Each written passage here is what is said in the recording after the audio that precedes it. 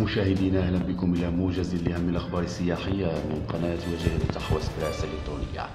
بداية شهد اليوم الاثنين الطريق الوطني رقم 85 ببلدية كركرة والمؤدي إلى شواطئ المصرف القلي بستيكدا ازدحاما مروريا خانقا حيث أصبحت الطريق شبه مغلقة بالمركبات لكثرة المصطفين المتجهين إلى شواطئ الجهة الغربية من الولاية هذا ونشرت وكالة النادي الليبي للرحلات السياحية صورا وفيديوهات تظهر وصول عشرات السيارات الليبية وهي تحمل العائلات إلى الجزائر في قافلة نظمتها الوكالة تضم 37 سيارة ليبية.